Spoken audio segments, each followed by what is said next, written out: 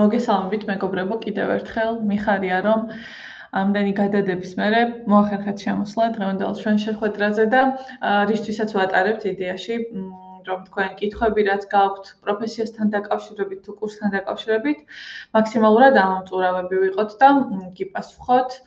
დაგაჯეროთ რომ ნამდვილად მოთხოვნადი პროფესია არის ისეთი რომელიც პერსპექტიული არის და კიდევ უფრო იზრდება მოთხოვნა მით უმეტეს ჰიბრიდულ პოზიციებზე ჩვენ როგორც ისიც კურსი განვაახლეთ, ამაზე თაკო უფრო ვრცლად ისაუბრებს.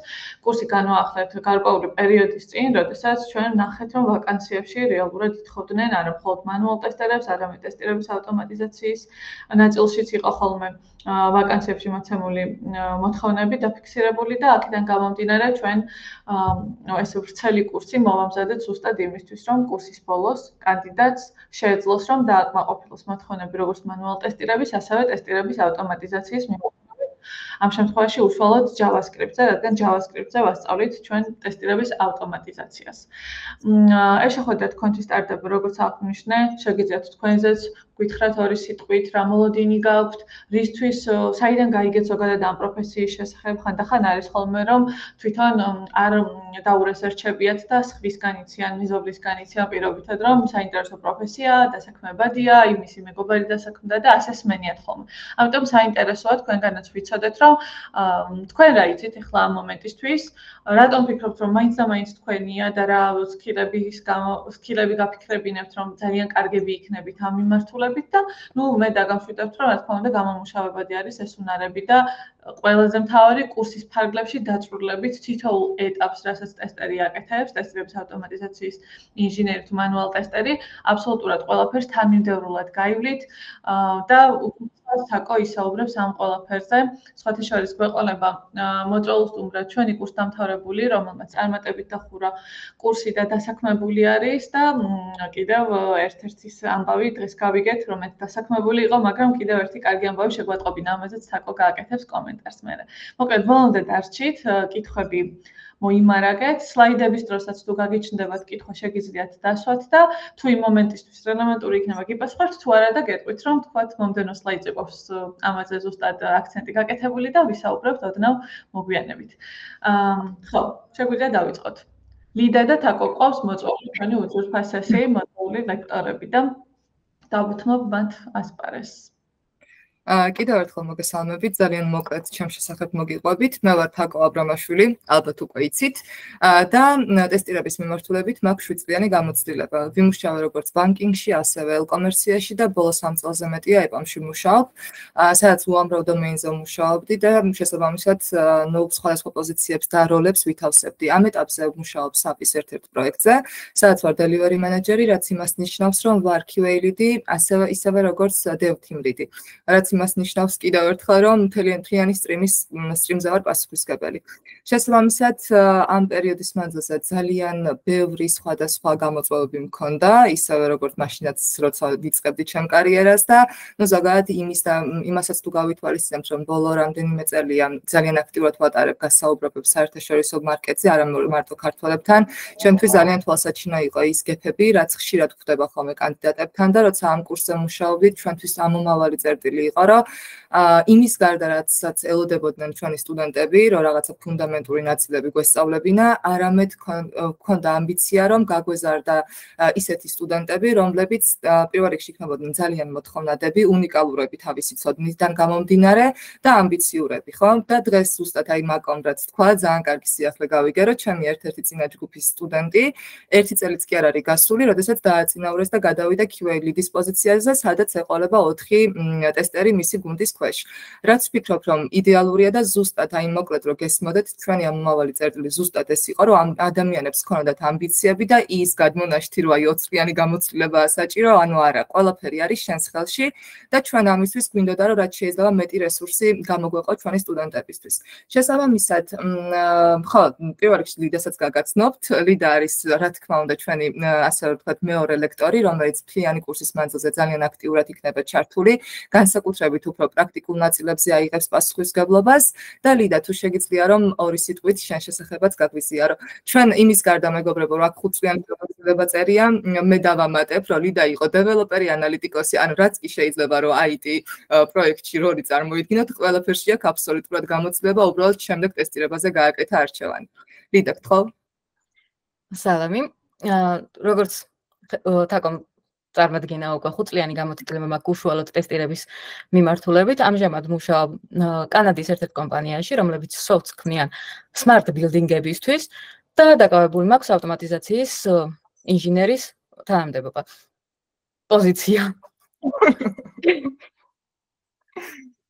და შესაბამისად, უკვე კურსის განმავლობაში, რა თქმა უნდა, გაგიზიარებთ ჩემს ცოდნასა და გამოცდილებას, შესაბამისად, აა გელით კურსზე მადლობა. თაკო, მადლობა ლიდა. აა ხო, ნუ მოკლედ ლიდასაც ძალიან უამრავი გამოცდილება აქვს და კურსის მანძილზე თუ ვინმე ისეთი არის ხოლმე რომ ან დეველოპმენტიც აინტერესებს, მოკლედ ყოველთვის ძალიან შეგვიძლია რომ ლიდას რესურსი ამ ნაწილშიც გამოვიყენოთ. აა რაც შეეხება უშუალოდ ამ პროფესიას აა და თუ აკვირდებით პროგრამული უზრუნველყოფის ხარისხის ინჟინერია, ნუ არ არ არის მენუალ ტესტირება ცალსახად და არც ასევე არც ავტომატიზაცია და რატომ მოხდა ესე. პირველი მთავარი მიზეზი იყო ის, რომ ძალიან გულწრფელად რომ ვისაუბროთ, ძალიან დიდი კრიზისია ხო საერთაშორისო ბაზარზე რომელსაც რომელიც ყველა ქვეყანას შეეხო. შესაბამისად ყველა პოზიცია ყველა როლი IT მიმართულებაში დადგა ახალი გამოწვევის წინაშე იგივე დაემართა მენუალ ტესტერებსაც, რომლებსაც ბაზარმა უკვე უკარნახა და მოსთხოვა, რომ ტექნიკური უნარები რაც შეიძლება მაღალ დონეზე განევითარებინათ. შესაბამისად, აი თუ გადახედავთ ნებისმიერ პოზიციას, ხშირ შემთხვევაში ოთა წერია მენუალ ტესტერი, რადიკალურად განსხვავდება იმ ძველი მოთხოვნებისგან და უკვე ხდება ძალიან ტექნიკური უნარების მოთხოვნაც, ხო? ამიტომაც ჩვენი მიზანი იყო პირველი ის, რომ ჩვენ სტუდენტებისთვის რეალობა დაგვენახებინა და მიგვეცა ის ცოდნა, რაც რა მართლა დაეხმარებოდათ დასაქმებაში და ცოდნის იმ დონეზე დონეზე მიღებაში, რომ ამბიციები ქონოდათ ამ ამ მიმართულებით და მეორე იყო ის, რომ ასევე ერთი კურსის მანძილზე აა ქონოდათ შანსი, რომ ორივე შეხებოდნენ. ძალიან ბევრი სტუდენტი, ჩვენ პირველ წელს როცა აკადემიაში წავიწყე ლექციების კითხვა, პირველი 2-3 ჯგუფი იყო, სულ მეკითხებოდნენ მენუალის მერე ავტომატიზაცია უნდა გავიარო, ხო? და სულ მინდა ხოლმე ავუხსნა ხალხს, რომ ერთი მეორესთან, ანუ აუცილებლად არ იკვეთება, უბრალოდ შენი ინტერესი არის. თავარი რომელი უფრო მოგწონს. ამიტომაც ეს უკვე ისეთ შუალედს გვაძლევს და ისეთ ფუნდამენტებს, რომ სტუდენტებმა გადაწყვიტონ მენუალის მიმართულებით ტექნიკური სკილები სწავლენ თუ მენუალს ჩამოაშორებენ და მხოლოდ ავტომატიზაციის მიმართულებით უნდათ რომ კარიერა დაგეგმონ. ჩვენ ჩვენ ყავს სტუდენტები, რომლებიც ჰიბრიდებზე ჰიბრიდულ როლზე დასაქმდა, ასევე რომელიც მენუალზე და რომელიც მენუალი მე არ მაინტერესებს, მხოლოდ ავტომატიზაცია მინდა. ეს იყო ჩვენთვის თავარი ამავალი წერტილი, რომ ერთ დროში თქვენ ქონოდათ ყველანაირი ცდომა. ასევე მინდა გითხრათ და კიდევ ერთხელ გავიმეორო, რომ ხოლოდ მენუალ ტესტირება სტანდარტული ძველი გაგებით, რომ რაღაცა მენუალ ტესტერს არ სჭირდებოდა ტექნიკური უნარები, ეს რეალობას აღარ წარმოადგენს. ყოველთვის ყველა კომპანია მენუალ ტესტერებს სთხოვს ტექნიკურ უნარებს, ბაზებთან მუშაობას, ავტომატიზაციის ფუნდამენტების ცოდნას და ნუ ასე შემდეგ. ასევე რაც მინდა რომ აქ დავამატო, არის ის, რომ ეს მხოლოდ საერთაშორისო ბაზარზე არ ხდება, იგივე მოდელზე გადადის ძალიან ბევრი ქართული კომპანია, სადაც უბრალოდ ყავთ ძალიან ბევრი მენუალ რესურსი და რომლებიც ცდილობენ რომ გადაამზადონ ეს კადრები. აა სამწუხაროდ კომპანიებს ვერ დავასახელებ, თუმცა ხო, ანუ ეს სიახლეები ბოლო კვირების მანძილზე კიდევ უფრო ბევრი მომივიდა და მან დაურწმუნდი რომ სწორი მიმართულებით მივდიოდით. აა რას ვისწავლით კურსზე? მოკლედ კურსი საკმაოდ დიდია, 26 შეხვედრა გვაქვს და ნუ ამ 26 შეხვედრიდან გარდა კიდევ გვაქვს ხოლმე დამატებითი შეხვედრები და მაკომაციც ის რომ სტუდენტებთან პირადი შეხვედრებით ძალიან ხშირად გვიტარდება, მიუხედავად იმისა, რომ შარშან დავასრულეთ კურსი. აა და ნუ ჯამურად გამოდის 73 საათი, თუმცა ნუ ძირითადად უფრო მეტობაში ვართ ხოლმე, იმიტომ რომ სხვა სხვა თემებს მუდმივად ვამატებთ. ნუ გააჩნია ჯგუფს რა ინტერესები გააჩნია. ჩვენ იმისთვის იმისთვის, რომ ახალი თემები ან პირობითად დამატებითი ლექციები ჩავატაროთ, მაგისტრის ყოველთვის მსად ვართ.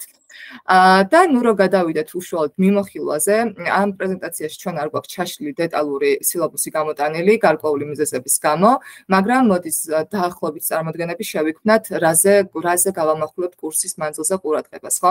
პირველი რა თქმა უნდა, რომ ძალიან დეტალურად ჩავშლით ამ პოზიციების მნიშვნელობას, პრინციპებს და ზოგადად გამოწვევები გვაქვს საერთაშორისო ბაზარზე თუ ქართულ ბაზარზე, როგორი არის განვითარების პერსპექტივები და როგორი ქვე, ასე ვთქვათ, პოზიციები შეიძლება ხდებოდეს, როდესაც საუბრობთ უშუალოდ ტესტირებაზე. აა ასევე ვისაუბრებთ იმ ზედაპირ ანუ პირველ ლექციაზე ვამბობ ხო უფრო აი ზედაპირულად როგორი მიდგომები გვაქვს სხვადასხვა სისტემებთან მუშაობის დროს და რა თქმა უნდა შევაჯამებთ რა არის საბოლოო ჯამში ჩვენი მთავარი მიზანი.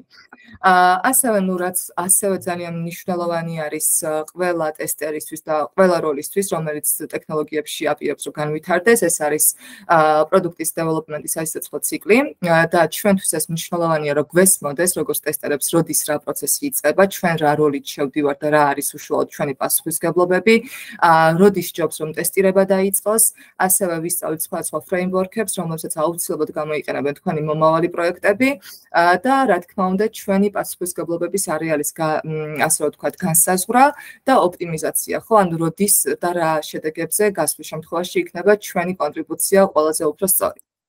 ასევე ვისაუბროთ ტესტირების დონეებზე, ტესტირების ტიპებზე, ტექნიკებზე, აუცილებლად ვისაუბრებთ რომელი რომელია დამახასიათებელი მობაილ აპლიკაციებისთვის თუ ვებ აპლიკაციებისთვის და ასევე გავაზიარებთ ყველა იმ best practices რომელიც ტესტირების პროცესში შეიძლება გვხდებოდეს. ასევე აქ ნუ გვაქვს ხოლმე სხვადასხვა workshop-ები, სადაც უშუალოდ ჩვენ თვითონ ვახორციელებთ ტესტირებას და რომელიც გვეხმარება რომ უშუალოდ ეს ყველა ინფორმაცია პრაქტიკაში მაქსიმალურად გამოვიყენოთ, ხო? და შეგვექმნას წარმოდგენები სხვადასხვა მაგალითზე დაყრდნობით, რომელი რას ემსახურება, რომ თავარი არის რომ თეორიასთან ერთად მე ეს პრაქტიკაც ერთმანეთთან შევაჯამოთ. აა ხო, ნუ ყოველი 3-4 თემის მერე გვაქვს აუცილებლად ტესტირება, რომელიც არის ძალიან მსუკე და აქაც ჩვენთვის ამომავალი წერტილი იყო რომ თქვენ გქონდეთ ისეთი ტესტირებები და ქვიზები, რომლებიც მაქსიმალურად ირეკლავს იმ მოსალოდნელ ინტერვიუების კითხვებს თუ ტესტების კითხვებს, რაც კომპანიებში დაგხვდებათ და ბევრჯერ მოვისმენთ რომ ეს ტესტები რაც აქ გვაქვს, ხშირად იგივე კითხვები და იგივე ტესტები ქონიათ ზუსტად, როდესაც სხვა სხვა კომპანიებში გადიოდნენ გასაუბრებას. მოკლედ, ყოველ 3-4 ლექციაში მუდმივად გვაქვს დამატებითი ერთი კვიზი. Ну შემდეგი ასევე ძალიან მნიშვნელოვანი თემა რომელსაც ჩვენ კიდევ უფრო გავშლით ეს არის მოთხოვნები და ჩვენ გვესმის რომ ციფრულ სამყაროში რა თქმა უნდა ყველა პროდუქტი რომელიც იქნება მოდის მოთხოვნებად ხო? ამოცანებად რომლებსაც მე დეველოპმენტის გუნდი ანვითარებს დეველოპმენტი მიმდინარეობს დიზაინი იქნება და ასე რომ ვთქვათ ასევე ტესტირებაც. აქაც უნიშნულოვანესი არის ჩემი აზრით ამოცანების ანალიზი რაზეც ბევრს არ საუბრობენ რადგანაც ჯერა ჩემს გამოცდილებას დაყრდნობით რომ ყველაზე კრიტიკული შედეგები და რისკები სწორედ ამ ეტაპზე გამორჩენილმა დეტალებმა შეიძლება გამოიწვიონ. ამიტომაც ჩვენ ვისაუბრებთ რეკვირემენტების ტიპებზე, გავაანალიზებთ, გავაკეთებთ სხვა სხვა მაგალითებს, თქვენი თვალით შეხედავთ ასევე როგორ შეიძლება რომ იდეალური ამოცანა, რომელიც ერთი შეხედვით დაადასტურეთ, აღმოჩნდეს რომ ძალიან ურთიერთსაწინააღმდეგოა და რა თქმა უნდა, ნუ ჩვენთვის ეს მნიშვნელოვანია რომ დროულად აღმოვაჩინოთ რომ რა თქმა უნდა შემდეგ უკვე ბევრი ხარვეზები არ გამოგვჩეს, ხო? და ვისაუბრებთ ასევე როგორი როგორ განისაზღვრება definition of done, definition of ready, რა არის acceptance criteria, რისთვის გვადგება, ვისაუბრებთ როგორი არის კარგი მოთხოვნები, როგორი არის ცუდი მოთხოვნები და ჩავშლით თითოეულ მათგანს დეტალურად და რა თქმა უნდა, აქაც ძალიან ბევრი პრაქტიკები გვექნება. აა შემდეგ უკვე რო ჩვენ ვახსენეთ უკვე software development life cycle, აქ უკვე შემოდის software testing life cycle, რომელიც უშუალოდ ტესტირების ციკლზე იღებს ორიენტირებას და აქაც უკვე გავუშვით როგორც ტესტერებმა რა ეტაპები უნდა გავიაროთ იმისთვის, რომ ასე რომ ვთქვათ, მაქსიმალურად გქონდეს ჩვენი პროდუქტი დაფარული ყველა ეტაპზე. აა და ნუ რა თქმა უნდა ვისაუბრებთ აუცილებლად სხვადასხვა დოკუმენტაციებზე. შეიძლება იყოს test case-ები, checklist-ები, აა bug report-ები და ასე შემდეგ. თითოეულ მათგანს ჩვენ პრაქტიკაში გავიგ ვით ბორდებზე, რომელსაც რეალურ პროექტებში აუცილებლად გამოიყენებთ, ნუ მსგავს მაინც თუ მაინც და მაინც კონკრეტულს არა და რა თქმა უნდა ვისწავლით როგორ ხდება მათი ტრეკინგი, ხო? ანუ როგორ შეიძლება რომ რეალურ პროექტებში ჩვენ ასე ვთქვათ ამ დოკუმენტებთან ვიმუშაოთ. რომელიც ასევე ძალიან მნიშვნელოვანია. აა ტესტირების დაგეგმვის პროცესი და რისკების მენეჯმენტი, ესეც საკმაოდ ისეთი სუყე თემაა და სულ ფიქრობ ხოლმე, რომ რამდენად საჭირო არის ჯუნიორისთვის, მაგრამ მე ვფიქრობ, რომ ძალიან საჭირო არის, იმიტომ რომ კიდევ ერთხელ ჩვენ გვაქვს ამბიცია, რომ თქვენ იყოთ კონკურენტუნარიანები ჩვენს ბაზარზე, ხო? რეალურად რაში გვეხმარება, რომ ვიზუალიზაცია მოვახდინოთ, რა არის, როგორ იგეგმება ჩვენი ტესტირება, როგორ იქნება ტესტირების სტრატეგიები, ასევე როგორ არ აქვს მნიშვნელობა ჯუნიორი ხარ, ליდი ხარ, ხედვა იმის როგორ არის რისკი, როგორ შეიძლება შეფასდეს, როგორ მოხდება მისი ტრეკინგი, ძალიან მნიშვნელოვანი არის, რაც რეალურად მომავალში უკვე თქვენს ასე ვთქვათ რეპუტაციას და ღირებულებას კომპანიაში ძალიან აწევს. რეალურად მეგობრებო, აი ამ თემებზე პატარ-პატარა დეტალებმა რომელიც შეიძლება გამორჩეს ტესტერს, აა შესაძლებელია რომ ძალიან მძიმე შედეგებამდე მიგვიყვანოს. ამიტომაც ჩემი ამბავი წერტილი არის რომ კი, რა თქმა უნდა, შესაძლებელია რომ ჯუნიორ ტესტერმა როგორც ასეთი მაინც და მაინც პირველივე ნაბიჯებიდან არ არ დაიწყოს ამაზე მუშაობა, მაგრამ რამდენიმე თვიანი ასე ვთქვათ ონბორდინგის მერე პროექტში მჯერა რომ აუცილებლად ეს ინფორმაცია გამოგადგებათ რომ გონება მომართული იყოს დეტალებზე.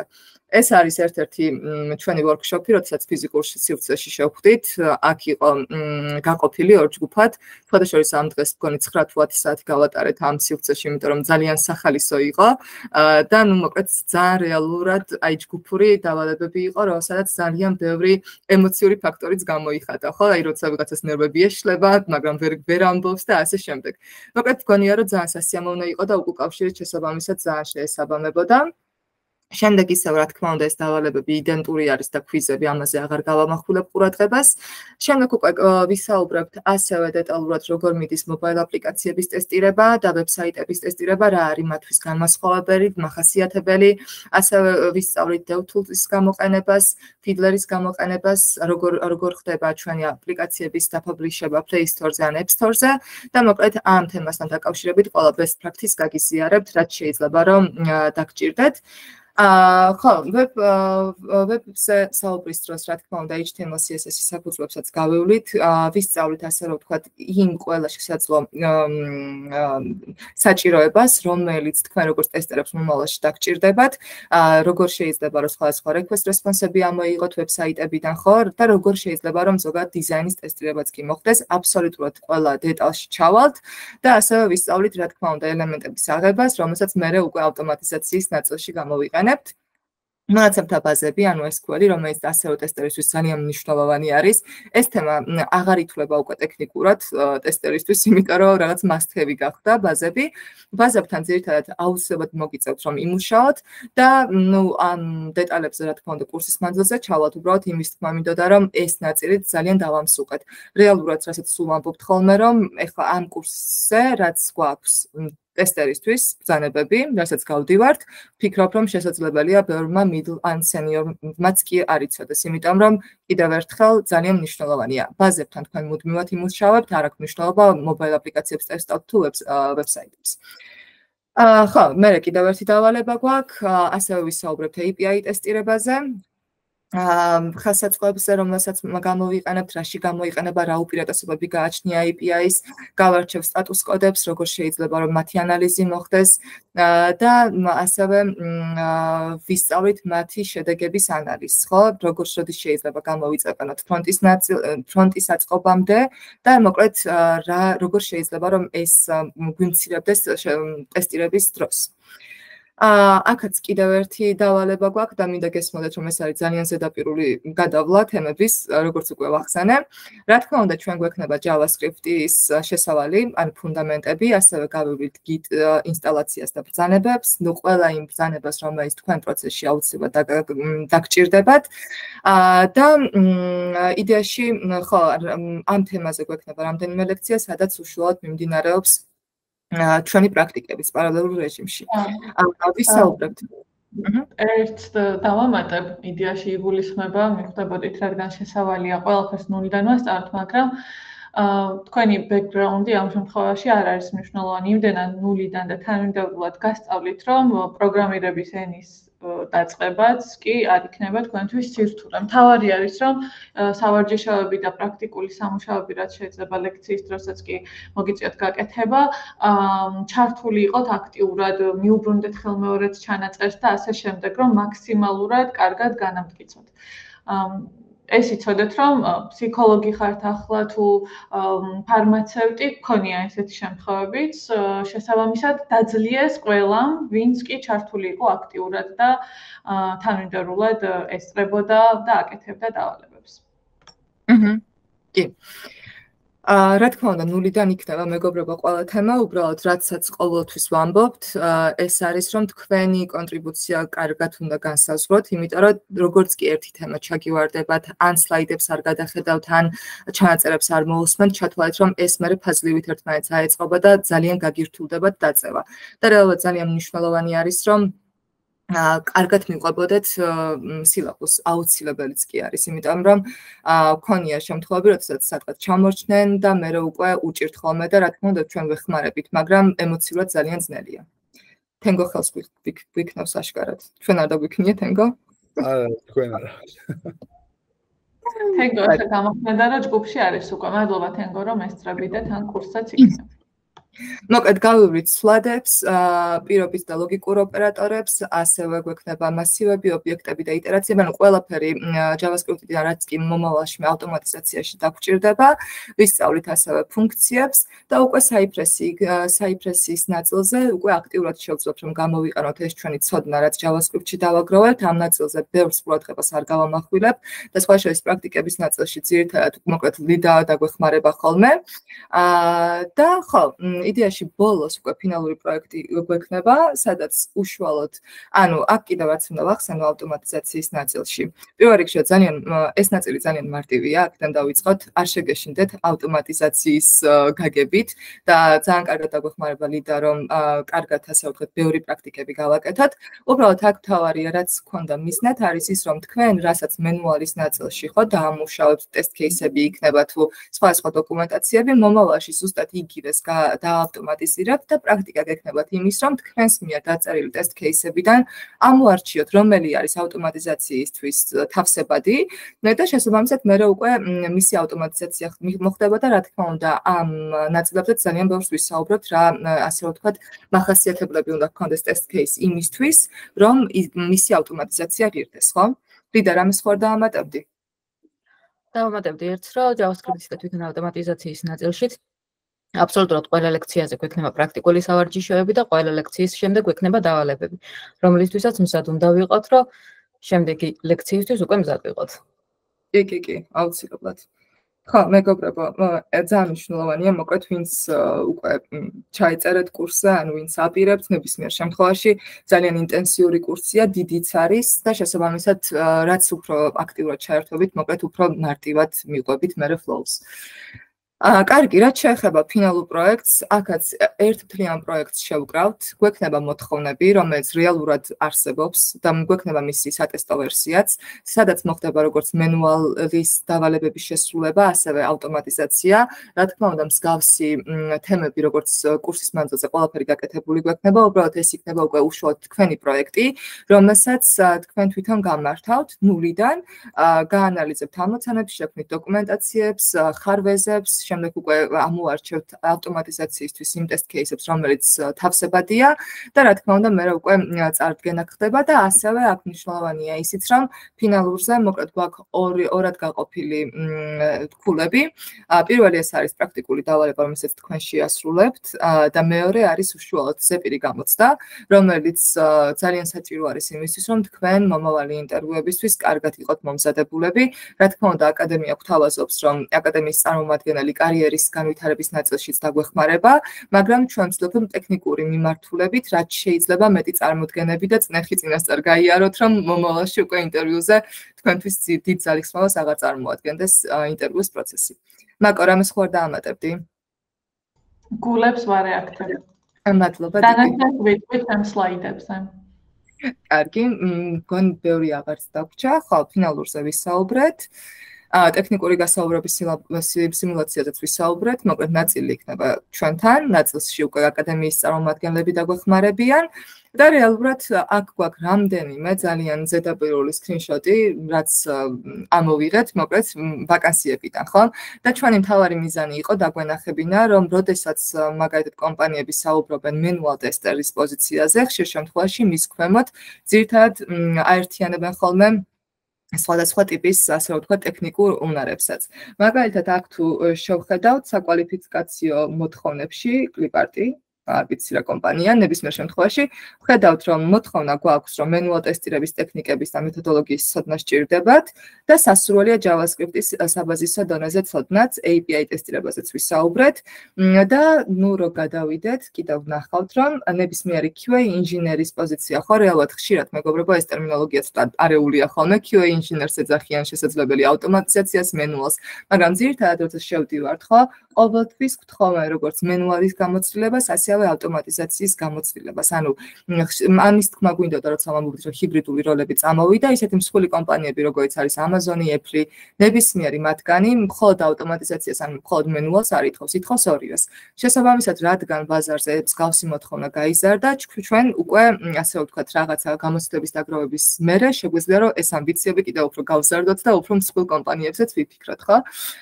აი, აქაც რომ ავიღოთ მაგ მაგალითად იგივენაირად უნდა კონდეს ეს ასე რომ ვთქვათ ცოდნა ბაზებთან მუშაობის აა ასე უნდა კონდეს ცოდნა სხვადასხვა ენების HTML, JavaScript და ასე შემდეგ, ხო?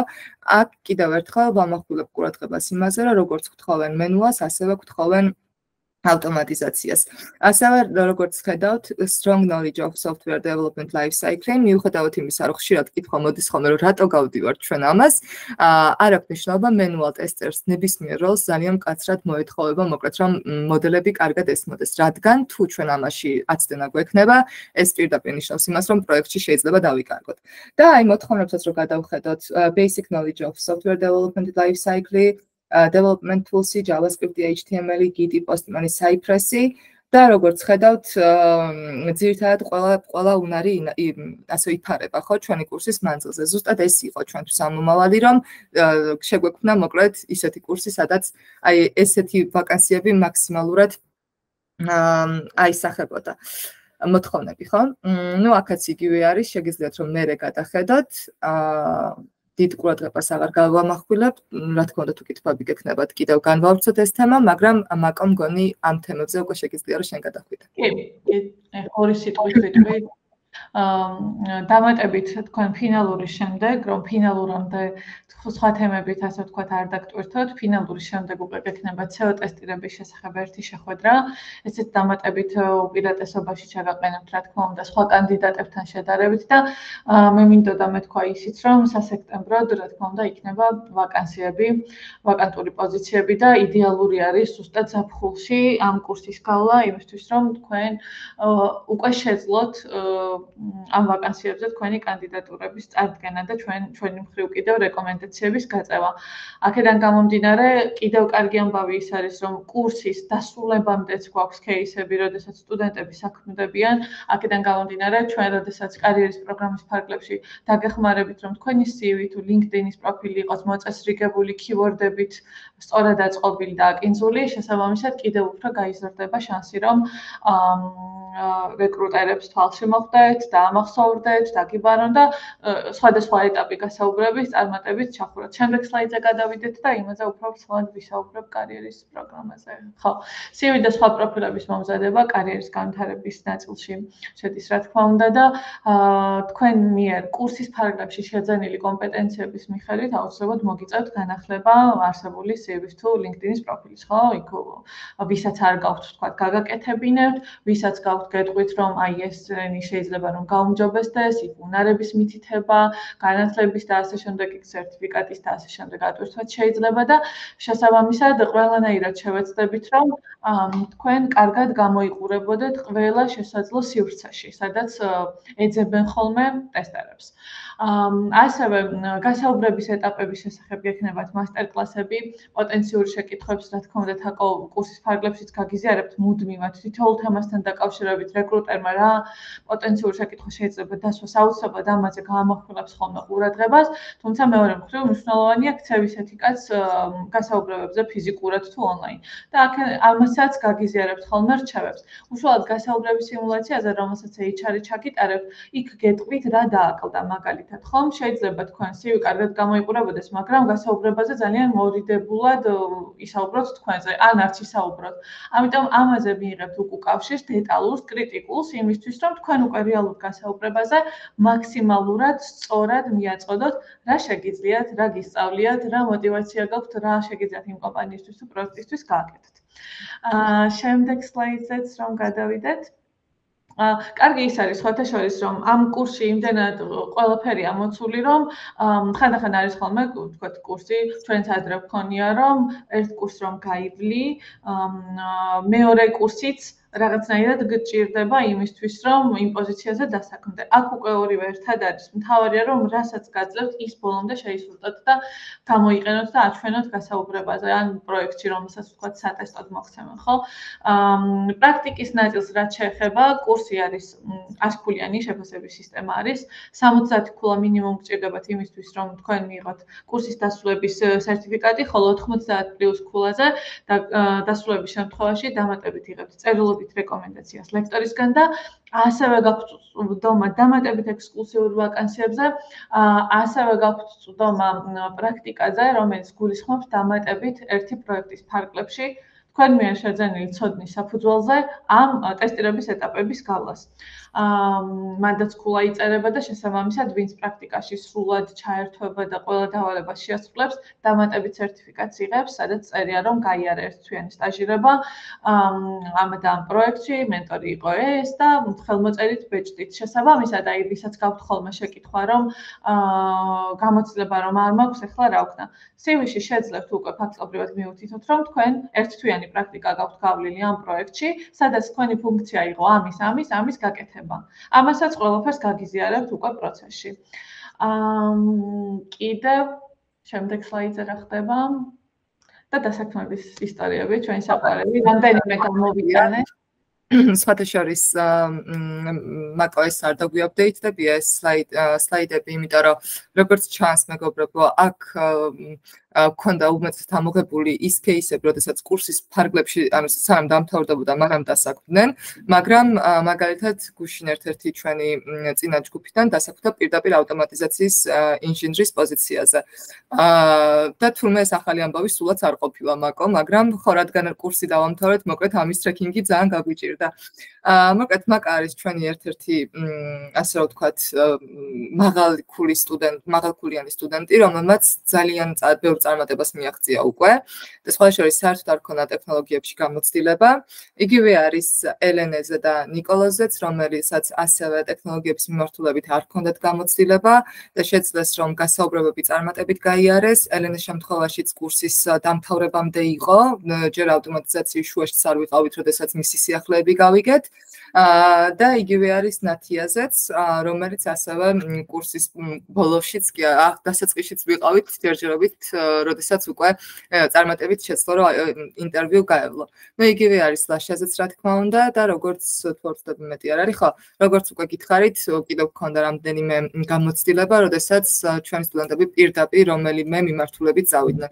ჩემთვის და დარწმუნებული ვარ მაკოსთვისაც ძალიან მნიშვნელოვანია ეს, იმიტომ რომ რეალურად ამ კურსის თავარი მიზანიც სწორედ ეგ არის, რომ ადამიანებს დავეხმაროთ სწორი მიმართულების პოვნაში. და რა თქმა უნდა ეს კონტაქტი არასდროს არ გაგვიწყვეტია, როგორც უკვე ვთქვით, მაგალითად ლაშასთან და ჩვენს კიდევ სხვა სხვა ჯგუფებთან, მოკლედ ერთი წლის მერეც მუდმივად კომუნიკაცია გვაქვს. კიდე კარიერის პროგრამას უწყვეტია მეგობრებო, აი მაგალითად თქვენ თუ ჯუდიორ პოზიციაზე დასაქმდებით ახლა ვაკანსიები, რომელიც ექსკლუზიურად ჩვენთვის ხდება ხოლმე ცნობილი, ან თუნდაც საჯაროდ ისედაც არის ხოლმე ცნობილი ყველასთვის ხომ? ჩვენ უკვე შეგვიძლია რომ ჩვენს პარტნიორებს, პარტნიორები არ მიხსენებია 50-ზე მეტი პარტნიორი ყოფს და კარიერის პროგრამის მიმართულება ცალკე მუშაობს პარტნიორების დამატებაზე, რომლებიც იქნება დამატებით გარანტია, რომ თქვენ კარგ კომპანიებში მოხვდეთ, რომლებიც თქვათ განვითარებაზე არიან ორიენტირებული და იმ გუნდებში თქვენს გაიზარდოთ. შესაბამისად, ამ უწყვეტი კარიერის პროგრამის ფარგლებში თქვენ შეგეძლებათ, რომ აა 6 თვე სადღაც იმუშავეთ, სრულების სურვილი გაგიჩნდათ, უკვე იცით, რომ კომპეტენციებში მოძიერთით პროექტებში გამოცდილება დააგროვეთ, გვეხმიანებით ეგრევე ჩვენ ვემზადებით რომ სხვა ვაკანსიაზე უკვე ის ვაკანსიაც უკვე თქვა იგივე მიდლის იქნება თუ სხვა პოზიციაზე წარმატებით შეხუროთ შესაბამისად როცა არ უნდა შეგვეხმიანოთ მოკლედ მზად ვართ რომ დაგეხმაროთ და ჩართული ვიყოთ ბოლომდე. როგორც აღნიშნეთ რეკომენდაციის გაწევის ნაწილში 90 პლუს ქულის მქონე სტუდენტებს ანუ ყველაზე მეტად თავდაჯერებულად ვისაც გვინ შეგვიძლია რომ გავუწიოთ რეკომენდაცია, წერილობით რეკომენდაციასაც ვუგზავნით ხოლმე პარტნიორს. პარტნიორებს რაც შეეხება, ნდობა მაღალი გვაქვს, რა თქმა უნდა, ამ წლების განმავლობაში 2018 წლიდან ასავლის Smart Academy-ა ამ 50-ზე მეტი კურსი გვაქვს და შესაბამისად ამ ნაწილში, როდესაც თუნდაც ერთი კურსის ფარგლებში დადებითი გამოცდილება აქვს, მოლოდინი აქვს, რომ სხვა კურსებიც გამართლებს და მით უმეტეს ესეთი კურსი შემიძლია ხმამაღლა თქვა, რომ საქართველოს ბაზარზე არ არის. თაკოს და ლიდას დამსახურებით და ძალიან დიდი მადლობა რომ ყოველთვის ისმენენ სტუდენტების ინტერესებს სურვილებს ითვალისწინებენ ვაკანსიაში რა აპდეითებია და რა სითხოვენ კონკრეტული პერიოდის განმავლობაში და რა თქმა უნდა პარტნიორებსაც ყოველთვის კვლევებს ვატარებთ ხოლმე სადაც ვიცით რომ რაღაც პარტნიორებს კონკრეტული მიმართულებით სურთ რომ სტუდენტს კონდეს ცოდნა ხო? ესეც გაგვითვალისწინებია და ჩაგვიმატებია ხოლმე ჩვენს სილაბუსში იმისთვის რომ სტუდენტს კონდეს ეს დამატებითი უპირატესობა და იყოს მზად თუნდაც იმ კომპანიაშიც რომ დასაქმდეს. აა ინგლისური არ გვიხსენებია და ინგლისურზეც ვთქვათ თაკო ორი სიტყვით რამხელა უპირატესობა აქვს მათ ვინც იცის ინგლისური. თუნდაც ეს პამის ნაწილში. კი კი კი. აა კიდევ ერთი მეგობრებო სიახლე რაც გვაქვს, სიახლე აღარ არის იდეაში. აა მოკლედ ეპამთან ალბათ ეპამზე ხსმენიათ, მქონდა შეთანხმება, რომ ჩემს ჩემ კურს თუ ადამიანი, ანუ სტუდენტები წარმატებით გაივლიან, აა შესაბამისად აქვს შანსი რომ დასაქმდნენ, რა თქმა უნდა ინტერვიუს მე ვერ ჩაგიტარებთ, მიგერძოებული რომ არ ვიყო, მაგრამ მოკლედ შეთანხმების ნაწილში, რა თქმა უნდა, ვისაც უმარტივდება ინგლისურ ენაზე, აა ასე ვთქვათ ინტერვიუს გავლა, აა იქნება შანსი შანსი, რომ ჩემი რეკომენდაციით ეპამში გაიარონ გასაუბრება და წარმატების შემთხვევაში, რა თქმა უნდა, დაიწყებენ ჯუნიორის პოზიციაზე. და ვფიქრობ, რომ მსგავსი, ასე რომ ვთქვათ, შესაძლებლობა თან ეპამს თუ ავიღებთ, ძალიან ნუ კარგი ბენეფიტი არის, იმიტომ რომ რეალურად საერთაშორისო კომპანიაში სადაც ყველაზე ბოლო ტენდენციებთან გექნება შეხება, ვფიქრობ რომ დამწყებისთვის განსაკუთრებით ისეთია მიმზიდველი.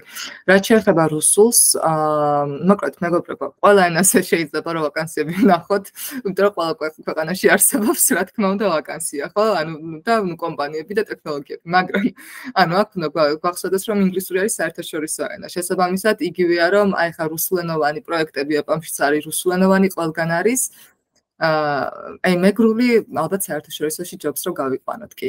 აა და ნუ მოკლედ რომ დაუბრუნდეთ თემას, აა ყველგან შეგვხვდება ყველა ენის მოთხოვნა, მაგრამ საერთაშორისო ენა მაინც ინგლისურია, ხო? შესაბამისად ყველაზე მეტი მოთხოვნა ინგლისურში გვხვდება. აა და ხო, აქაც არის ფიქრობ და native დონეზე უნდა იცოდეთ, აბსოლუტურად არა, უბრალოდ მთავარი არის რომ წინადადებების ასე ვთქვათ, დაწყობა შეგეძლოთ იმდენად რომ გავიგო რისით მაგინდოდათ. ის რომ მაგიაში ვაკანსიაში რომ მომზადებით უკვე წესით უნდა მომზადებული თუ მიხვალთ, ეგ პრობლემა აღარ იქნება თან. ზუსტად. და მაგაშიც ასე ვისაც აქვს ხოლმე და ნუ იდეაში ყველას ვუზიარებთ, ვუზიარებთ ასევე ფაილებს, საკითხავ მასალებს, ჩვენი სილაბუსი იგივენაირად ინგლისურად, რომ მაქსიმალურად ვისაც ქართულ ქართულად ჩავიჯენთ ლოგიკაში, შემდეგ რომ მარტივად შევძლოთ თარგმნა ხო და ინტერვიუზე მარტივად გავიაროთ გასაუბრებები. და introduction-ი რაც გვაქვს კურსის დაწყებამდე, ეგეც თაკოთ შეგიძლია რომ ორი სიტყვით. აჰა. აა კურსის დაწყებამდე გვაქვს ასევე პატარა მომწვანელო, რომელიც წარმოადგენს ფიქნის დაახლოებით რა არის ტესტირება. რა თქმა უნდა, მან რაც წერია ყველაფერი, ასე ვთქვათ, უფრო ზედაპირულია და ყველა აბსოლუტურად ყველა თემა იქნება კურსის მანძილზე უფრო ჩაშლილი, მაგრამ წინა სამზადებელი პერიოდი არის, რომ ნუ მივეჩვიოთ, რომ ძალიან აქტიურად მოგვიწევს, ასე ვთქვათ, კურსის მანძილზე ჩართულობა, თუნდაც საკითხავ ნაწილში, თუნდაც პრაქტიკებში და ასე შემდეგ. კი, და ინგლისურ ენაზეა სულ რა გვერდი არის და ვიდრე პირველი შეხვედრა ჩაგიტარდებათ, სასურველია ხოლმე რომ სტუდენტს წაკითხული ჰქონდეს და გააზრებული თუ რას მოიცავს კიდევ ერთხელ. ტერმინებსაც რა თქმა უნდა შეეჩვევით და იდეა შეგვიძლია პრეზენტაცია გავთიშოთ და კიდე გავამახვილებ ყურადღებას იმაზე, რომ როგორც მიხვდებოდით, თაკოც და ლიდაც ძალიან სასიამოვნო საურთიერთო ადამიანები არიან და ლექციაც უშუალოდ ტესტირება იქნება თუ მესენჯერი სადაც გვაქვს ხოლმე ყოველდღიური კომუნიკაცია კურსის ფარგლებში არის ხოლმე სასიამოვნო სახალისოც არ არის სტრესული თუ რა თქმა უნდა თქვენს ჯგუფის დინამიკას მიყვებით და დადებით დინამიკას მიყვებით და გაიზიარებთ მოკლედ ლექტორების ჩართულობის აპრწონეთ თქვენს მაქსიმალურად დაიხარჯებით. დანარჩენი ანუ ისე გავა პერიოდი რომ ვერ მიხვდებით, მთავარია რომ კარგად გაიაზროთ რომ დროის დახარჯვა მოგიწევთ. პარალელურად შეიძლება თვითნასწავლი ტესტერებიც იბადებოდნენ ამასობაში, ამიტომ თქვენ რომ კონკურენცია სასექტემბრო ან აგვისტოში უკვე გაუწიოთ ხუებს, კარგად უნდა გამოაჩინოთ თქვენი თავი, თქვენი ცოდნა და ამაში დაგჭირდებათ მობილიზაცია. ხო? შეიძლება, ხო, კარგი ის არის ასევე რომ ონლაინ ტარდება თულად ეს კურსი და შესაბამისად დასვენება მოგიწევთ, სადმე წასვლა მოგიწევთ ქალაქგარეთ თუ საზღვარგარეთ, შეძლებთ რომ მაინც რომ ონლაინ შემოგვიერთდეთ, ჩაერთოთ საერთოდ კამერა, ჩაერთოთ მიკროფონი, გააზიაროთ ეკრანი საჭიროებისამებრ და ასე შემდეგ. ხო, კიდევ იმას ვიტყვი რომ მარტივი არ არის, ამას ყოველთვის ვეუბნებით ხოლმე სხვა აკადემიები ვით არ ვამბობთ რომ ეს პროფესია მარტივია, არც ერთი პროფესია არ არის მარტივი თუ დროს არ დავუთმობთ. და გამოცდებას თუ არ მივიღებთ. ამიტომ სწორი მოლოდინი უნდა გქონდეთ რომ თქვენი მხრიდან ჩართულობა ძალიან სერიოზული პროფესიაა და მით უმეტეს ეს კურსი არ არის ძალიან ზედაპირული, ან პირიქით სიღრმისეული არის და შესაბამისად თუ პირველად ეხებით დაგჭირდებათ მეტი ძალის ხმევა რომ კარგად გაიაზროთ უფრო აქტიური და კრიტიკული მომხმარებლები გახდეთ აპლიკაციების და ვებგვერდების და ამას იდეაში პირველი ორი შეხვედრის მერე აქტიურად საერთოდ სხვა თვალით დაიწყებთ ყურებას და მე უფრო მეტის გაკეთება მოგინდებათ, მოიწამლებით, ასე ვთქვათ. აბა ხა გადავიდეთ შეკითხვებზე და მაგ შეკითხვების ფრაგმენტებიც ამოვწუროთ სხვადასხვა საკითხებზე. ლევანს ქონდა კითხვა ჩანაწერებით უკეთდება და თან კი ჩანაწერებით გაკეთდება ყველაფრის აბსოლუტურად რაც კი წერით გაკეთდება თუ ასე ვთქვათ ვერბალურად ყველაფერი მოგეწოდება თითოეული ლექციის მერ. და კურსის დასრულებიდან სამი თვე ღა გექნებათ ცდომა ესეც რომ გაითვალისწინოთ. თენგო? თენგო? აა მან მაინტერესებს რამე პროგრამული ენის ოდნა თუ არის საჭირო. არაფერი არ გჭირდება თენგო, ყველაფერს გასწავლით, რაც კი შეიძლება რომ დაგჭირდეს. ყველაფერს ვიწყებთ ნულიდან. ამო გავდივართ ხო რაღაც დონეზე? ყველაფერს. და JavaScript-ის სლაიდზე ეგ ვისაუბრეთ, ზუსტად რომ JavaScript-ს ნულიდან ისწავლით პროგრამირების ენა. საუფისე პროგრამები? აა საუფისე პროგრამები Word-ი და Excel-ი მაქსიმუმ. იქაც დავალებები რომ დავწეროთ იმ იმ დონეზე, მეტი აბსოლუტურად არაფერი არ გვინდა. კიდე მაინტერესებს ეს ქულების სისტემა, ანუ როგორ თემა, როგორი თემა არის რა, როგორი თემის მიხედვით და როგორი სისტემის მიხედვით ფასდება, გამოდის საბოლოო ქულა. აჰა. ახლა, მოკლედ, როგორც ვთქვი, თენგო გვექნება კვიზები, ანუ კურსის მანძილზე რეალურად აა ძალიან ბევრი შანსი გვაქვს, რომ კარგი ქულები დავაგროვოთ. გვაქვს რამდენიმე კვიზი, გვაქვს საშინაო დავალებები, გვაქვს და გვაქვს ფინალური. ფინალურს რა თქმა უნდა უფრო მეტი ანუ ესეთ მსუყია ხო, იმიტომ რომ ბევრი საქმის შესრულება მოგიწევთ, მაგრამ ისე გვაქვს განაწილებული ქულები, რომ აი მაგალითად 1-2 შეცდომით ბევრ ქულას არ კარგავ, ძალიან მიზერულ ქულებს კარგავ იმის ფონზე, რომ ძალიან მსხვილი ტესტები არის, ხო? და ნუ ჩასაწერი ღია კითხვები და ასე შემდეგ. ანუ მთლიანად ეს კვიზები მორგებული არის, რომ რაც შეიძლება მეტი გაგაკეთებინოთ, მაგრამ თუ რამე შეგეშლება ძალიან მიზერული, თითქმის რომ ანუ ასე ვთქვათ, არაფერი არ შეეტყოს თქვენს ქულებს. ოღონდ ახლა რა თქმა უნდა თუ გააცდენთ და ასე ვთქვათ ძალიან ბევრი შეცდომები იქნება, ეგ ხო ბუნებრივად დაგაკვდებათ. მაგრამ ნუ ძალიან ისეთი ისე წავა ქულებში დაგროვება, რომ მოკლედ არ უნდა გაგიჭირდეთ წესით. აა, მადლობა. ცოტა ისეთი კითხვაა, მაგრამ მაინტერესებს რა. ყველაზე მაღალი ქულით რამდენზე დაუხურავთ? 100. 100. დაგიჩვენოთ რომ იშვიათად ეხლა ყავდა 99 ქულით აა ერთი და ნუ ერთ ახლა ყავდა ორი პარალელური ჯგუფი. ერთ ჯგუფში მეგობრებო ყავდა არ ვიცი რამდენი ასკულიანი და რაც მინდა ვთქვა რომ ძალიან იშვიათი არის, იმიტომ რომ ძალიან ბევრი როგორც თქვით, კვიზები არის ძალიან სუყია, რაღაც 20-30 და შესაბამისად, ნუ გეკარგება ეს ქულები, მაგრამ ნუ კარგად წავიდნენ და მეორეში ყავდა კიდევ ასკულიანი, მაგრამ რა თქმა უნდა, ანუ 90 ზემოთ ბევრი ყავს ხოლმე. 99-დან ყავდა მოგვეთ. კარგი, მადლობა. ჯერჯერობით ავალებთ. აა საფო კითხვა საფო იწეს ხელს და შემდეგ მოწერილებს გავაჟღერებ. აა დიახ, დროის რა ნაწილი ეთქობა მანუალურ ტესტირებას და რა ნაწილი ავტომატიზაციის შესწავლას? საათობრივად გაინტერესებს საათები, ესე ზუსტად არა. ალბათ, ალბათ ესე იქნება, ხო, ჯერ მანუალური ჯერ მე გავიწყებთ დავიწყებთ ყველა ფუნდამენტს ხო? აი develop ანუ software development-ის ციკლი როგორ მიმდინარეობს ვისწავლით ასე ვთქვათ მოთხოვნებთან მუშა აი პროექტის ფარგლებში ტესტირებას კარგად გავარჩევთ რა არის. და მე რა უკვე გადავალთ ავტომატიზაციაზე ამ ცოდნაზე დაყრდნობით იმიტომ რომ ეს ძალიან გჭირდება. ასევე მინდა გითხრათ რომ წინა ერთი ჯგუფი რომელიც ნათია შემოგვიერთდა ნათია სალამი.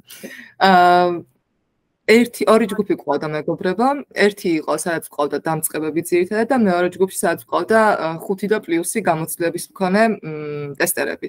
და მინდა თამამად ვთქვა, რომ ძალიან ბევრი სიახლე დახვდათ მათაც კი, ვისაც გამოცდილება ჰქონდა ამ სფეროში. თუ არ ვცდები 11 თუ 12 მსგავსი სტუდენტი ყავდა დიდი გამოცდილებით. აა ასე რომ მგონია რომ აი ეს იერარქია როგორც დავაწყეთ, აა სოფო შენს დაგეხმარება რომ ასე ვთქვათ სრული ხედვა ჩამოიყალიბო.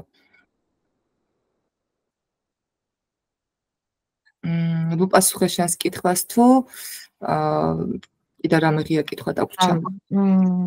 არა, რა თქმა უნდა, უპასუხოთ უბრალოდ მე ვიკითხე, იმიტომ რომ JavaScript-ი როგორც ვიცი, არ არის მარტივი ენა, მე JavaScript-ი არ ვიცი და რადგანაც ამის შესწავლა გვიწევს ნულიდან, აა დრო დრო მაინტერესებდა, ანუ რამდენი ეთმობა, ანუ რას ფიქრობს ლექტორები, ანუ რა დრო შტირდება ამ ენის ის უნდა არ არის მარტივი.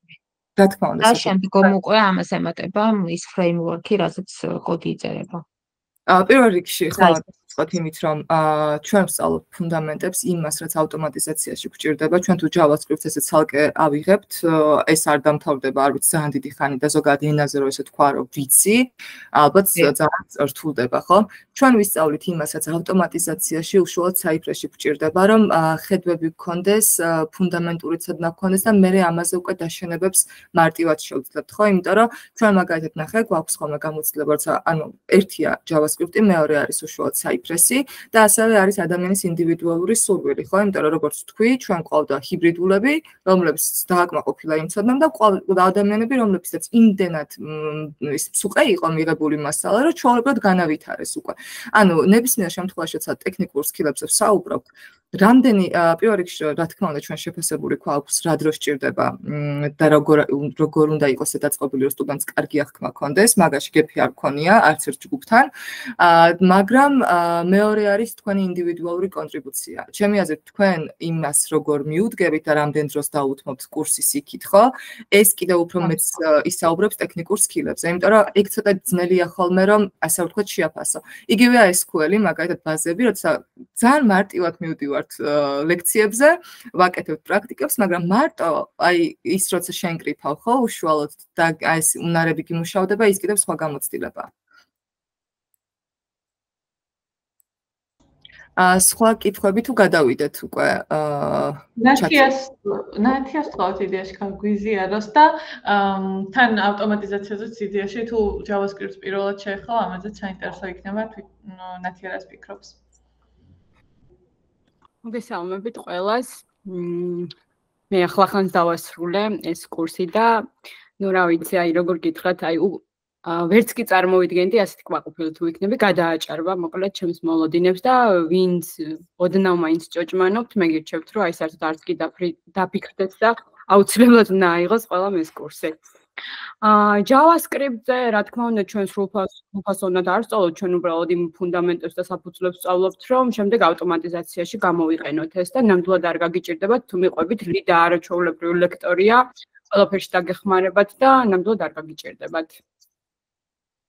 აა რაც შეეხება ზოგადად კურს, არის აბსოლუტურად ამომწურავი.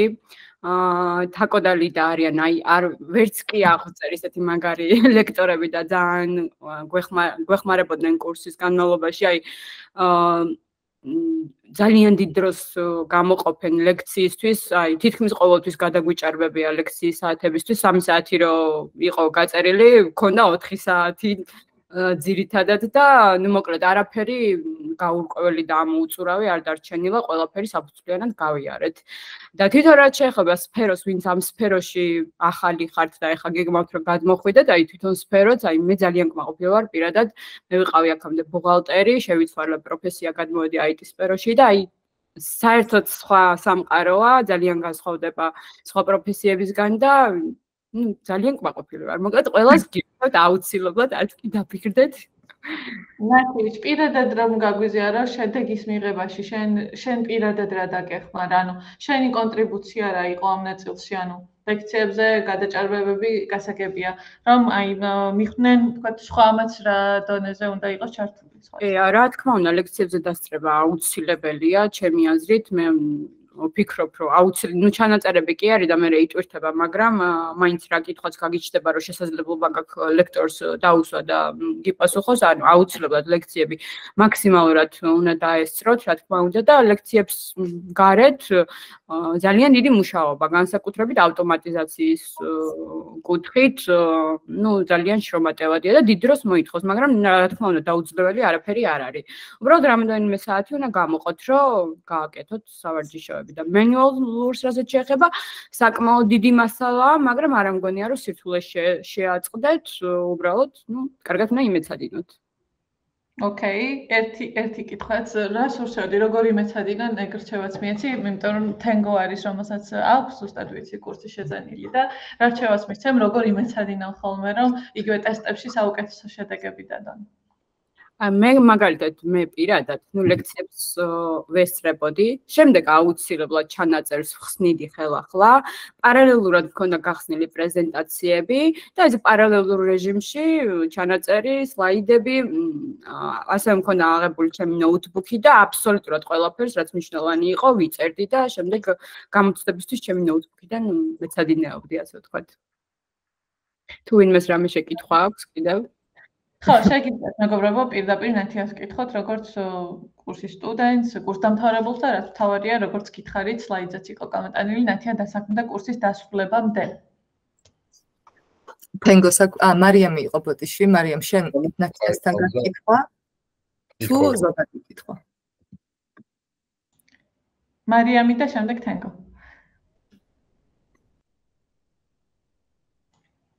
მარიამ მიკროფონი არ გაქვთ ჩართული თუ საუბრობთ? მარიამ როზომაშვილს მივმართავ ოკეი თენგო და მე მარიამი იმედია დაგვიბრუნდა არა უნდა მეკითხა რამდენად მალე დაიწყეთ ხო? ამ კურსის მერე სამუშაო რა და უკვე ითქვა ეგ. სანამ ხო არისო დასრულებული დაახლოებით 2 თვე ნახევარში. დაახლოებით ესე დავსაქმდი ძალიან კარგია. მარიამ, გამარჯობა. აა მე მაინტერესებს უშუალოდ რაღაც გარკვეული შეხება მქონია ამ პროფესიასთან, მაგრამ ანუ კარგად არ ვიცი რა არის მოვალეობები აა ტესტერის. აი მაგალითად მქონია შეხება რომ მიწევს თქვა შეცდომების პოვნა ნუ DevTools-ში და შემდეგ ამ შეცდომების მიწოდება პროგრამის პროგრამისტისთვის. და ეს რაღაც დაწია თუ აი ამას ამის გარდა თქვათ ტესტერს ევალება ამ შეცდომების გასწორებაც თუ არ ევალება და აი კიდე დამატებით რას აკეთებს ტესტერი აი მოკლედ რო აღხსნა ეს იდეაში ამაზე პრეზენტაციას თუ გვესწრებოდი მარიამ ამაზე ვისაუბრეთ ძალიან ბევრი. რა თქმა უნდა, ტესტერს არ ევალება ხარვეზების გასწორება და ზოგადად ტესტერის მთავარი და ერთ-ერთი მოვალეობა არ არის ხარვეზების პოვნა, ზოგადად ნათიაც და მეთანხმება ალბათ უკვე რომ ძალიან ბევრი ბევრი კონტრიბუცია გვაქვს პროექტში და software development life cycle-ს ამიტომ გავამახვილეთ ყურადღება რომ და გვესმოდეს და აღქმა გქონდეს ჩვენი ჩვენი როლი თითოეულ ეტაპზე და ფაზაში რას მოიაზრებს. და ნუ თუ დავიწყებთ ფუნდამენტებიდან, რა თქმა უნდა, ჯერ ანალიზის ფაზიდან მოდის ყველაფერი, ხო? ნუ გააჩნია პროექტში რა ხდება. შენ შემთხვევაში როგორც დავაკვირდი, იყო სპეციფიური, შენი როლი განსაზღვრული, ახლა ჩემთვის ცოტა ძნელია, რომ ამ ასე ფორმატში უფრო სიღრმეში ჩავიდე ტესტერის მოვალეობებზე, მაგრამ ნუ რა თქმა უნდა, ძირთადი ჩვენი ამოცანა არის, რომ ხარისხის ასე ვთქვათ პროდუქტის ხარისხზე ავიღოთ პასუხისგებლობა. ხო ოღონდ აქ უნდა გვესმოდეს რომ მხოლოდ ტესტერი არ არის ამაზე პასუხისგებელი არამედ მთელი გუნდი და ეს მითი რომ ტესტერის ბრალია ხარვეზე თუ გამოგრჩება ეს არის ნუ ყოველი პირველი ეს ამაზე შევთანხმდეთ ყველანი. ამიტომაც ხო როგორც უკვე ვთქვი ამ თემებზე ძალიან დეტალურად ჩავალთ, ვისაუბრებთ რა სადრას ვიწყებთ, როგორ ხდება, რომელ სპეციფიკურ მომენტში რას ვაკეთებთ და შემდეგ რა თქმა უნდა თქვენთვისაც უკვე დაალაგდება და ეს წრე, რომელიც მე მიყვარს ხოლმე რომ გამოვიტანო, უკვე ლოგიკურად შეიყვება და ინფორმაციაც უკვე დაგილაგდება თქვენებაში. მადლობა. არც. მადლობა, სხვა კითხვა მეგობრებო? ა მარიამ საინტერესებდა კიდევ ხელფასები ამ სფეროში. ესეც ძალიან სპეციფიურია. ველოდები ხოლმე სულ ამ კითხვას, მაგრამ მინდა გითხრათ, რომ საკმაოდ მაღალი შეიძლება იყოს დამწყებისთვის, შეიძლება იყოს 2000-ზე მაღლა, შეიძლება იყოს 3000-იც და შეიძლება იყოს კომპანია, რომელიც ჯუნიორს თავაზობს 6-7 ლარს, ხო? ანუ ეს ჩემთვის ცოტა ძნელია რომ ამ ეტაპზე შევაფასო, განსაკუთრებით ქართულ რეალობაშიც უკვე სხვადასხვა გვხვდება კომპანიები, რომელიც საკმაოდ კარგად უხდიან ტესტერებს დაწყების ეტაპზეც კი და უმეტესად, ну, კომპანიებს თავისი პოლიტიკა აქვთ. აქაც თქვენი skillset-ი, რასაც კურსიდან წაიღებთ, რა თქმა უნდა, მნიშვნელოვნად განსაზღვრავს თქვენს range-ს, იმიტომ რომ ყოველთვის კვალიფიკაციაზე არის ხოლმე დაფუძნებული, როცა ასე რა ვთქვათ, ხელფასებზე ვსაუბრობთ.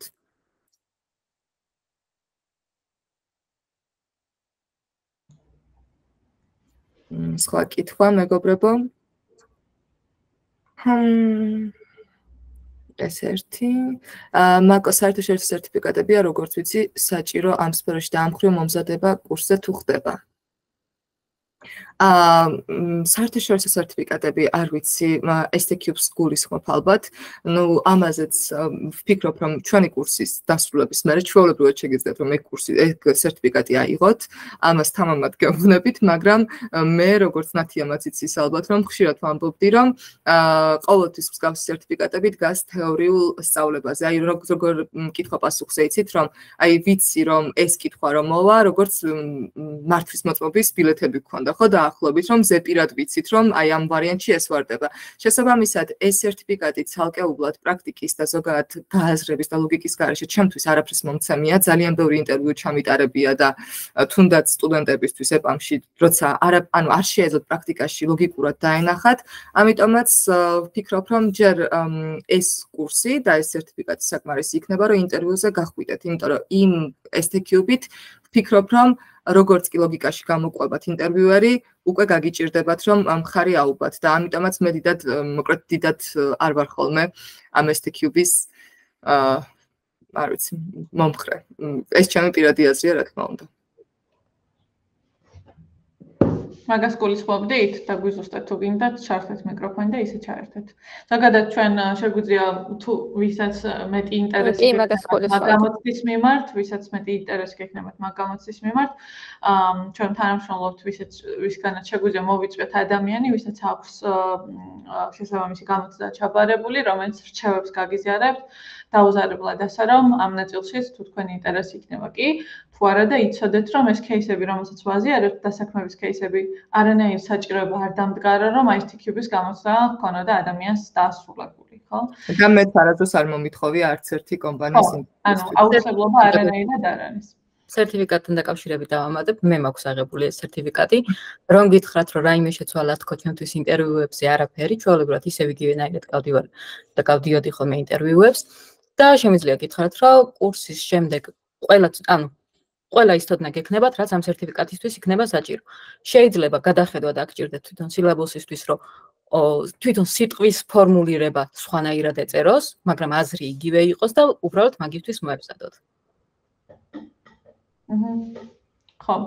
ცოტა მეცნიერობა მოკლედ მაინც გამოსლი ფასიანია ხო, როგორც მახსოვს გამოსაზე გასვლა შესაბამისად ყოველ შემთხვევაში იმ სპეციფიკურ კითხვებს, სავარაუდო კითხვებსაც ნახავთ და მიხვდებით, როგორ წაიმესადინოთ, ვიდრე ოფიციალურად გახავთ. შეიძლება რომ უბრალოდ წინადადების წყობა იყოს შედარებით სხვანაირი იმ წესებში, რომლებიც მოცემულია. მოკლედ, სერტიფიკატები გავიარეთ. ლევან, კი, გერმანელებთან ახლაც მუშაობ, თითქმის ბოლო წელიწად ნახევარია. აა, პირადად ჩვენ, ანუ საპის პროექტზე არ ვიცი თუ გეცნობა ეს კომპანია, არასდროს არც სტრიმში არ მომითხოვია და არ მოგვითხოვია ამ კომპანიის სტანდარტის მიხედვით, მაგრამ როგორც უკვე ვთქვით, მოკლედ კურსის მერე ძალიან მარტივად შეგიძლიათ რომ კომპანია თუ მოგთხოვთ ამ STQ-ს, მარტივად აიღებთ, ხო? რაც შეეხება მარიამის კითხვას, დროებითი ნამდვილად არ არის. პროექტის ხანგრძლივობა, ანუ პროექტი ესე არ არის მეგობრებო, რომ სამი თვე არის და დამთავრდა.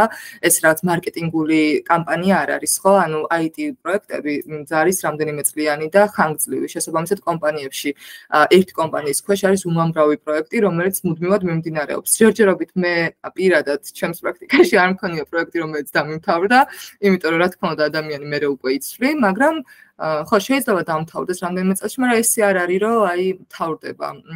ლიდა შენ ქონია მსგავსი გამოცდილება, რომ პროექტი ხო რაღაცა ესე მეც არ მახსენდება, რომ შესაბამისად თავიდანვე როცა კომპანიაში მიდიხარ იცი უკვე კონკრეტულ პროექტზე არ მიდიხარ მიდიხარ პოზიციაზე და მე პროექტებს იღებ ანუ ამის მინდა კარგით მეგობრებო სხვა კითხვები თუ გაქვთ?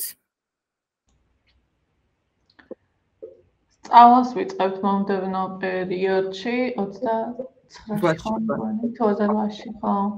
სამშაბათს და შაბათობით ტარდება მეგობრებო მე სილაბუსს წაღან გავაზიარე, მაგრამ ახლა ლინკსაც გავაზიარებ და თან გეტყვით, რომ საფოსურის გადახდა შესაძლებელია სხვადასხვა ბანკის განმადებითაც, მათ შორის საქართველოს ბანკის ნაწილ-ნაწილ გადახდით, როდესაც უპროცენტოდ 4 თვეზე შეგიძლიათ გადაანაწილოთ და გადახდა დაიწყოთ მომდევნო თვიდან. ყველაზე ხშირად გამოყენებადი მეთოდი არის გადახდის და შესაბამისად მარტივია გადახდა აქედან გამომდინარე. აა გავაზიარე ეს ჩანაწერიც გამოგეგზავნებათ ვინც თავიდან ბოლომდე ვერ უყურეთ მგონი წაღან შემოუერთდა რამდენიმე მონაწილე და აა თუ შეკითხვები კიდევ გექნებათ შეგიძლიათ ორშაბათის თან მოყოლებული ისევ დაგვიკავშირდეთ და კონსულტაცია გაიაროთ და უფრო დაწვრილებით გამოვკითხოთ რაიმე კითხვები თუ გექნებათ მოკლედ. აა აბა კიდევ. მადლობა მადლობა სოფო შენ რომ დაესწარი. სხვებს მეგობრებო თუ გაქვთ შეკითხვები, ცირა, ნატალია, ეკა. ის კითხვა არ მაქვს, ანუ როგორც მოხდა ეს იგი 28-დან, ხო? მე ცოტა გვიან შემოგიერთით 15 წუთი დავიდვიანე. და ეს და 28-დან ვიწყებთ. კი ბატონო. ჯგუფში როგორც ვიცი ამ მომენტისთვის არის რამდენიმე ადგილი დარჩენილი, ამიტომ აა ესე იგი ფასტაკლება დღეს სრულდება, როგორც ვიცი 17-ში, 17-მდე ქონდა კურსებზე ფასტაკლებები. აა გთხოვთ რომ ვისაც გადაწყვეტილი გაქვთ უფრო დროულად მიიღოთ საბოლოო გადაწყვეტილება, ხომ რომ ადგილი დაგიჯავშნოთ, ადგილები შეზღუდული არის ჯგუფში. აა უკუკავშირს იღებთ ამ დავალებებზე, კითხების დასმა შეგიძლიათ. მოკლედ ძალიან პრაქტიკული და სტუდენტზე ორიენტირებული არის კურსი შესაბამისად. შედეგს შედეგზე ბატონო მასტაკლებასთან დაკავშირებით არ ვიცი. ერთი წამით. ხო, მასტაკლება არის ამ მომენტში 1800 ლარის ნაცვლად 1650 ლარი ღირს და ხო, არა, არ ვიცოდი მე 1800 მეკონა კარგია. ფასტაკლება არის დღეის ჩათვლით აი სისტემაში მითითებულია რომ გაითიშება და გთხოვთ რომ მაგას ყურადღება მიაქციოთ რომ დროულად მიიღოთ გადაწყვეტილება. აჰა. კეთილი. კარგით, მეგობრებო, ჩემი მხრიდან მე ამეტი არაფერი მაქვს დასამატებელი, უბრალოდ ვისაც სამშაბათ შევხვდებით, აა ერთი წესი მაქვს სულ რომ სვამთ ყველა კითხვას. არ არსებობს კითხვა, რომელიც უაზროა, სისულელეა აბსოლუტურად ყველა კითხვისთვის, მინდა რომ მზად იყოთ, რომ დასვათ, იმიტომ რომ სხვა შემთხვევაში გონებაში ჩვენს ლოგიკურ წრეს ვერ შევკრავთ. ნათი, გისმენ. აა დამატება მინდა და ერთი რაღაცის. აა პირველ რიგში ძალიან დიდი მადლობა აკადემიას თქვენ ჩვენ საყვარელ ლექტორებო. აი მართლა ვერ წარმოვიდგენდი, ასეთი კარგები თუ იქნებოდით და ასეთი კმაყოფილი თუ დარჩებოდი. აა თქვენი სერვისით, ლექტორებით, ზოგადად აკადემიით, ძალიან ძალიან დიდი მადლობა, იმიტომ რომ მართლა ჩემი ცხოვრება სრულიად შეიცვალა თქვენი დამსახურებით, რა თქმა უნდა. აა აა განმიხარია ნათია და მადლობა შენს, რომ ესეთ ჩართული იყავი კურსის მანძილზე. ნათია იყო ერთ სხვა შორის ნათიას ჯგუფი იყო ერთ-ერთი ყველაზე ძლიერი და მე შევთანხმდით მაგაზე, რომ რენკინგში მოიგეს, მაგრამ ხო, ანუ ისეთი ხასიათი იყო ზოგადად გუნდში, ისეთი გაზიარება, ერთმანეთის დახმარება, რომ დიდი იმედი მაქვს, რომ ამ ჯგუფშიც მსგავსი მის იქნება, ხო, ატმოსფერო, იმიტომ რომ ძალიან განსაზღვრავს ერთმანეთის мотиваციაზე. მაგალითად, სანამ ჩატში შევიხედები, შევიხედებოდი რაღაცა პერიოდის მანძილზე უკვე ყველა კითხვა, ყველა პასუხი ერთმანეთს ეხმარებოდნენ და ეს ძალიან მომწონდა, იმიტომ რომ ეს ჯგუფი აი მაინც სამსახურში სადაც soft skill-ებიც ცოტა არა, ძალიან მნიშვნელოვანია და აქ მგონია რომ ეგეც გამოვიმუშავეთ და მოკლედ ნათია მადლობა შენს რომ ესეთი ჩართული იყავი. მე არ მახსოვს თემა, როცა ნათია მომზადებული არ იყო. თქვენი დამსახურებით, წარმატებები ყველას. აა და სიამოვნებით გავივლიდი, ისეთი სასიამოვნო პროცესი იყო თქვენთან ურთიერთობა. მართლა ხელახლა სიამოვნებით გავივლიდი. უკვე ნოსტალგია მაქვს ლექციების. მადლობა ნათია დიდი. კარგად, დაგემშვიდობებით. კარგად ნათია. დაგემშვიდობებით, მეგობრებო და შეკითხვები გამოვშვით ნებისმიერ დროს, დაგვირეკეთ ან Facebook-ზე მოიწერეთ და როგორც კი შევძლებთ, კი პასუხებთ. აბა დროებით.